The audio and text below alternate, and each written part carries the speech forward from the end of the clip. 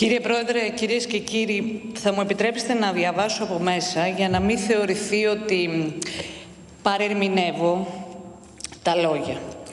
Ο προϋπολογισμός λοιπόν δεν είναι μια απλή λογιστική αποτύπωση των εσόδων, των εξόδων και γενικότερα των βασικών δημοσιονομικών μεγεθών του κράτους ή ακόμα και ολόκληρης της γενικής κυβέρνησης.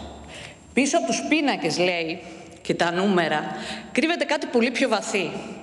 Στις προβλέψεις των δημοσιονομικών δεδομένων αποτυπώνεται η οικονομική βάση των δημοσίων πολιτικών που θα ασκηθούν στο μέλλον. Τα δέφει ο κ. Γιάννης Τουρνάρας, ενώπιον της Διαρκούς Επιτροπής Οικονομικών Υποθέσεων.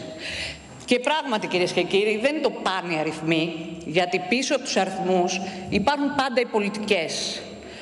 Και οι πολιτικές της κυβέρνησης, παρά τη νέα μεγάλη εθνική ιδέα, αυτή του πρωτογενούς πλεονάσματος, Μόνο πλεονάσματα δεν παράγουν. Αντιθέτως, παράγουν διαρκώς ελλείμματα που μάλιστα διευρύνονται. Έλλειμμα στην υγεία, έλλειμμα στην παιδεία, έλλειμμα στην αξιοπιστία της ίδιας μας της χώρας όλα τα μήκη και τα πλάτη. Πώς θα μπορούσε αλλιώς έλλειμμα και στην άσκηση εξωτερικής πολιτικής. Και κυρίες και κύριοι, ίσως ο πιο έγκριτος οίκος αξιολόγησης αφού ξεκίνησα με τον κύριο Στουρνάρα, είναι εκείνος των Ελλήνων πολιτών αλλά και των ευρωπαϊκών κοινωνιών, που έχει ήδη αξιολογήσει την κυβέρνηση στους δείχτες της υγείας, της παιδείας, της εξωτερικής πολιτικής με 3α. Απούσα, άβουλη, αδρανής η κυβέρνηση. Απούσα από όλα τα κρίσιμα μέτωπα από το ζωτικό χώρο των Βαλκανίων ως την κρίσιμη γεωπολιτικά σημασίας ε, Μέση Ανατολή. Καμία πρόταση, καμία πρωτοβουλία. Και το χειρότερο, όταν αυτή η κυβέρνηση δεν είναι απούσα και αποφασίσει να είναι παρούσα, στρατεύεται στις ειρήνες πολεμικών σχεδιασμών, όπως έγινε με τα σχέδια βομβαρδισμού της Συρίας, όπου ο αρμόδιος υπουργός πριν ακόμα η ίδια η Ουάσιγκτον αποφασίσει αν θα βάλει μπροστά τις στρατιωτικές μηχανές, δήλωνε παρόν. Άβουλη. Γιατί πλέον λειτουργεί χωρίς σχεδιασμό και προτεραιότητες. Είτε πρόκειται για την οικονομική διπλωματία, είτε πρόκειται για την ενεργειακή διπλωματία.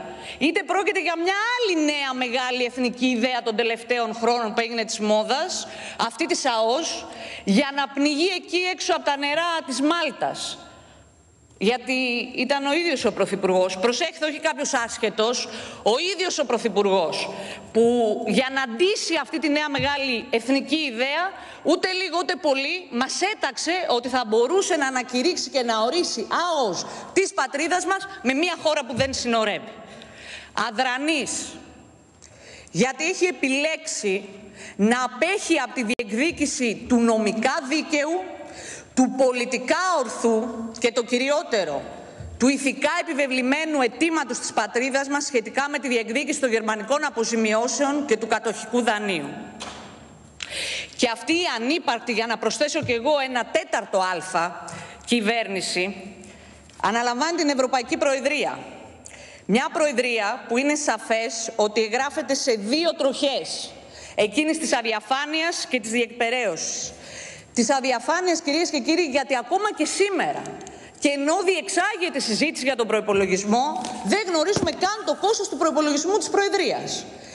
Είναι 50 εκατομμύρια σύμφωνα με το Γενικό Λογιστήριο του κράτους. Είναι 30 σύμφωνα με τον προπολογισμό και για όσους δεν το έχουν διαβάσει παρακαλώ στη σελίδα 98 του τρίτου κεφαλαίου της ειδικής έκθεσης.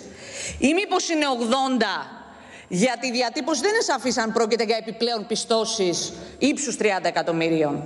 Όπως βεβαίως δεν έχουμε σαφή εικόνα πού θα πάνε αυτά τα εκατομμύρια, σε ποιες ανάγκες, για ποιους σκοπούς.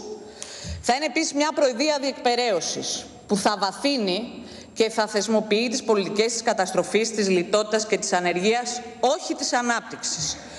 Γιατί, κυρίες και κύριοι, κύριε Πρόεδρε, το να κλείνουμε σε όλες τις πτώσεις τη λέξη ανάπτυξη δεν συνιστά πολιτική. Συνιστά κοροϊδία των πολιτών για τη δημιουργία εντυπώσεων. Τούτος ο προπολογισμό, πέρα των ασαφιών, σε ό,τι τουλάχιστον αφορά το Υπουργείο Εξωτερικών, προκαλεί και σειρά ερωτημάτων, καθόλου ανώδυνων, αλλά κέραιων και βεβαίως όχι τυχαίων. Ξεχωρίζω ορισμένα, σεβόμενοι κύριε Πρόεδρε, τα περιορισμένα όρια του χρόνου, αλλά ενδεικτικά. Ερώτημα πρώτο λοιπόν. Ποιο είναι το ύψος των απόρριτων δαπανών κυρίες και κύριοι; Δεν θα υπάρξουν. Άρα οι καταργήθηκαν.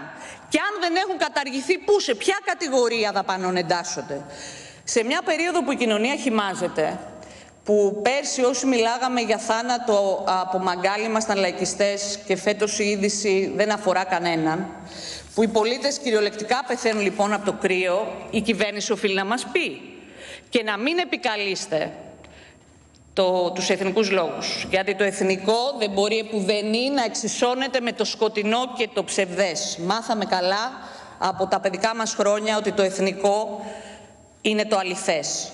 Ερώτημα δεύτερο. Ποιο είναι το ύψος των δαπανών της Υπηρεσίας Διεθνούς Αναπτυξιακής Συνεργασίας, Ποιες οι ληξιπρόθεσμε οφειλές της, ποιες οι διεθνείς υποχρεώσεις της; Ο προπολογισμό, κυρίες και κύριοι, δεν μας διαφωτίζει και νομίζω ότι αυτό γίνεται σκόπιμα. Όπως δεν μας διαφωτίζει και ένα τελευταίο ενδεικτικό ερώτημα, κύριε Πρόεδρε, ειλικρινά τελειώνω. Ποιο είναι το ύψος των δαπανών και των ληξιπρόθεσμων οφειλών των εποπτευομένων από το Υπουργείο Εξωτερικών Φορέων; Ερωτηθείς πριν από λίγο καιρό ο κύριος Τουρνάρα σχετικά με τις διεκδικήσεις μας έναντι της Γερμανίας απαντούσε ότι δεν έχει έλθει ακόμα η ώρα. Και όμως η ώρα έχει έλθει και για τη διεκδίκηση των γερμανικών οφειλών αλλά και για τη διεκδίκηση της αξιοπρέπειας της χώρας και όλων μας. Η ώρα έχει έλθει και ο λαός θα στείλει αυτή την άκρος επικίνδυνη για την Ελλάδα και την Ευρωπαϊκή Ένωση κυβέρνηση εκεί που ανήκει, στη βαυλότητα του χθες οι πολίτες θα επιλέξουν μια νέα κυβέρνηση με κορμό το ΣΥΡΙΖΑ και θα δώσουν το δικό τους 3α για πολιτικές και με πολιτικές της αξιοπρέπειας, της απασχόλησης και της αλληλεγγύης. Και το πρώτο βήμα είναι η καταψήφιση αυτού του αντιλαϊκού, βαθιά ταξικού προϋπολογισμού που δεν μας αρέσει να το λέμε, δεν σας αρέσει να το ακούτε, αλλά δεν ταιριάζει σε κυρίαρχο κράτος, αλλά μάλλον σε απικία χρέους.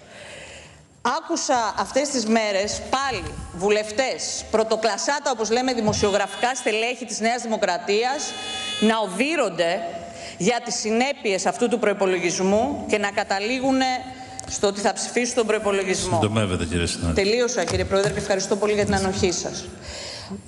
Μάλιστα, είναι εσχάτω της μόδας να στοχοποιείται ο κύριος Τουρνάρας. Μα ο κύριος Τουρνάρας, όπως ο κύριος Σαμαράς, έχουν εξαιρετική σχέση, όπως μας έχουν πει από ε, κανάλια εθνικής εμβέλειας. Γι' αυτό του καλώ να μην πράξουν εκ νέου το ίδιο. Να μην υπηρετούν τη δημοκρατία των τηλεπαραθύρων, αλλά να απομειώνουν τη δημοκρατία του Ελληνικού Κοινοβουλίου. Ο προπολογισμό πρέπει να καταψηφιστεί για να ζήσει η πατρίδα μας το μέλλον που της αξίζει. Σας ευχαριστώ πολύ. Το λόγο έχει